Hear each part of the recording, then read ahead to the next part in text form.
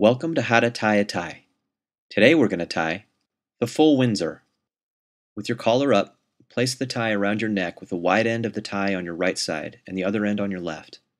The wide end should be longer than the narrow end by several inches because the knot uses much of the tie. Bring the wide end of the tie over the shorter end. Pull the wide end up through the middle hole between your neck and the tie. Once through, bring the wide end over to the left. Then, Bring the wide end behind and underneath the narrow end, and over to the right. Bring the wide end up, then down through the hole and under the knot between your neck and the tie, and pull it over to the right again.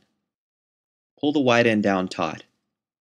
Then swing it over in front of the narrow end to the right, creating a cover in front of the knot. Bring the wide end under and up, and pull it up through the hole. Now hold the front of the knot loose with your index finger and pass the wide end down through the loop in front.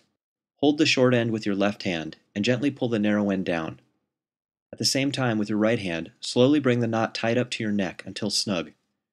Form and shape the tie however you'd like. Bring your collar down and make final adjustments.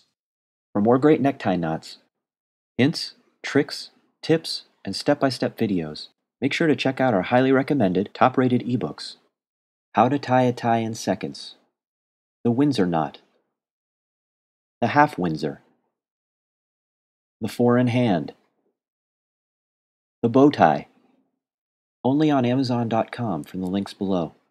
You can also get them all in one amazing collection with How to Tie a Tie, easy step by step, also only available on Amazon.com from the link below. See you again.